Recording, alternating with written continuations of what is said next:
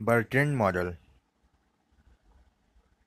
Bertrand model Bertrand मूलतः एक French गणितज्ञ थे, जिन्होंने कुर्नो के ड्यूलोपॉली मॉडल की आलोचना की और ओल्गोपॉली मार्केट के संबंध में एक वैकल्पिक मॉडल प्रस्तुत किया। बर्टेंड ने अपने इस मॉडल को वर्ष उन्नीस सौ तिरासी में प्रस्तुत किया। बर्टेंड मॉडल इस मान्यता पर आधारित है कि ओलिगोपॉली मार्केट में फर्म यह मानती है कि उनका प्रतिद्वंदी फर्म अपनी कीमतों में कोई परिवर्तन नहीं लाएगी। जबकि जब पहली फर्म अपनी कीमतों को परिवर्तित करे, बाज़ार में स्थित दोनों फर्मों, दोनों फर्म एक ही मांग वक्र का सामना करती हैं और दोनों के उद्देश्य अपने लाभ को मैक्सिमम करना होता है।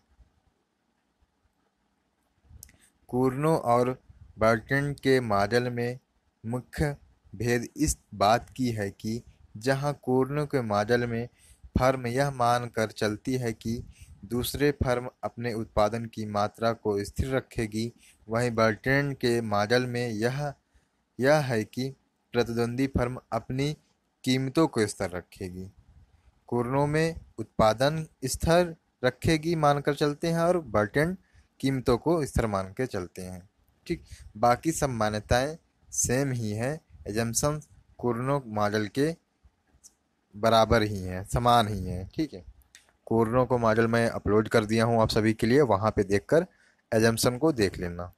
इन मान्यताओं के बाद बर्ट्रेंड मॉडल को ड्यूलोपॉली मार्केट में रिएक्शन कर्व की सहायता से प्रदर्शित, ठीक है, किया जा सकता है। बर्टेंड के सिद्धांत के रिएक्शन कर्व लाभ, समलाभ वक्रों की सहायता से निर्मित किया जाता है। जो कन्वेक्स टू द ओरिजिन है, ठीक है कन्वेक्स टू द ओरिजिन है, ठीक, जो ओरिजिन की तरह है, आधार की तरफ़ झुका हुआ है।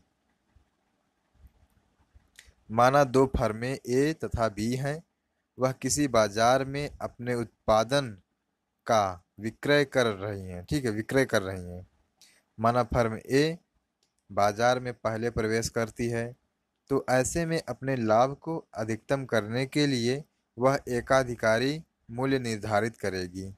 अब मान लीजिए, फर्म बी बाज़ार में प्रवेश करती है और यह मानते हुए कि फर्म ए अपनी कीमतों में कोई परिवर्तन नहीं लाएगी।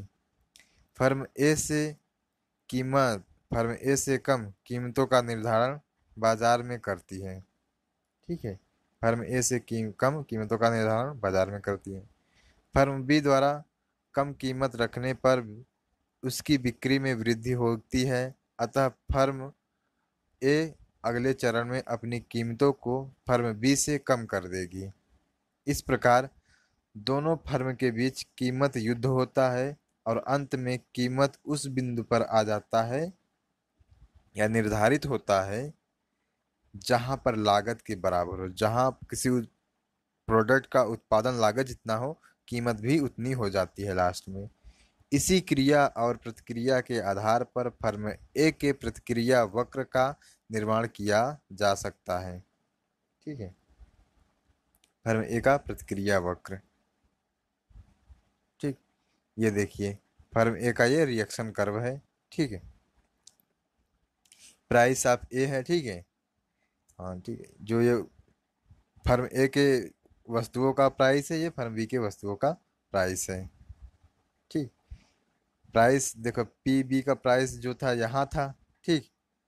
और पी ए का प्राइस देखिए, यहाँ था। फिर धीरे धीरे आप तो कम होते होते कहाँ आ गए? एकदम न्यूनतम स्तर पे आ गए, जहाँ पे लागत के बराबर हो गया। उपयुक्त चित्र में उपयुक्त चित्र में वाई एक्सिस पर फर्म बी की, की कीमत है तथा एक्स एक्सिस पर फर्म ए की कीमत प्रदर्शित की गई है। पाई ए पाई ए टू तथा पाई ए थ्री विभिन्न समलाभ वक्र हैं ठीक है। यह फर्म ए बाज़ार में पहले प्रवेश करती है तो समलाभ वक्र उसकी कीमत अक्ष की तरफ़ झुका रहेगा।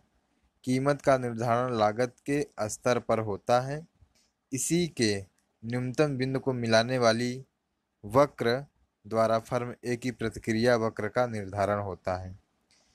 इसी तरह फर्म बी की प्रतिक्रिया वक्र का निर्धारण किया जा सकता है। ठीक, फर्म बी का प्रतिक्रिया वक्र देख लीजिए आप ठीक ये प्राइ फर्म बी का कीमत इधर दिखाया गया है, फर्म ए का कीमत इधर दिखाया गया है। ठीक। ये रिएक्शन कर्व है फर्म बी का, ठीक है। यहाँ इक्विलिब्रियम पे, ठीक है। ये है फर्म बी ठीक। यदि फर्म बी बाज़ार में पहले प्रवेश करती है तो वह अपनी कीमत एकाधिकारी मूल्य के बराबर रखेगी। इसके बाद फर्म ए बाज़ार में आती है और वह फर्म बी की कीमत की तुलना में कम कीमत निर्धारित करती है। दोनों के बीच पुनः कीमत का युद्ध होता है, ठीक है? अंत में कीमत लागत के बराबर हो जाती है, उत्पादन लागत के बराबर कीमत को रख दिया जाता है और फिर इक्विलिब्रियम की अवस्था में आ जाते हैं। बर्नेट, बर्टेन के मॉडल का संतुलन भी कुर्नो मॉडल के समान प्रतिक्रिया वक्रों के आधार पर प्रदर्शित किया जा सकता है। जिस बिंदु पर फर्म ए को प्रतिक्रिया वक्र फर्म बी की प्रतिक्रिया वक्र को काटती है, उसी बिंदु पर बर्टेंड मॉडल का संतुलन निर्धारित होता है। ठीक, जहाँ ए और बी की प्रतिक्रिया वक्र आपस में कटती हैं, वहीं पे बर्टिन का मॉडल का संतुलन होता है। ठीक, जैसे कि फर्म ए का रिएक्शन कर्व है ये, फर्म बी का रिएक्शन कर्व ठीक, यहाँ पे काट नहीं है, यहाँ इक्विलिब्रियम की अवस्था में आ जाएँगे, और यहीं पे आपका, ठीक, संतुलन की अवस्था हो जाएगी। जहाँ दोनों प्रतिक्रिया वर्ग आपस में काटेंगी। पैंतालीस अंश, पैंतालीस डिग्री का, ठीक है, कोण बनेगा, वहीं पे आपका वो हो जाएगा। रेखा चित्र में वाई एक्सेस पे, ठीक है, फर्म बी की कीमत और एक्स एक्सिस पे फर्म ए की कीमत निर्धारित की गई है। रेखा ओ जेड समान वितरण रेखा है, ठीक ओ जेड जो रेखा थी, जो 45 अंश पर खींची गई है। वेंटिन मॉडल का संतुलन बिंदु ई बिंदु पर पाया जाता है, जहाँ पर दोनों फर्मों की प्रतिक्रिया वक्र समान माप वितरण रेखा पर काटे, ठीक है, काट रहे हैं।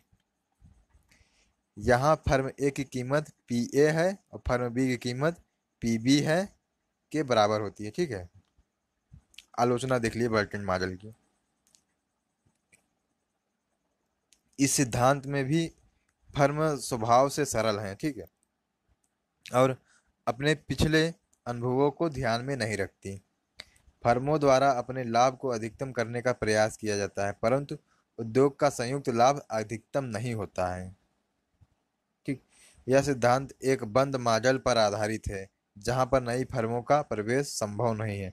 वास्तव में बर्टिन मॉडल कुर्नो मॉडल का एक विकल्प है, जहाँ कुर्नो मॉडल उत्पादन की मात्रा को आधार बनाया है तो बर्टिन मॉडल में कीमत को आधार बनाया है। वहीं बर्टिन ने कीमत को आधार बनाया है।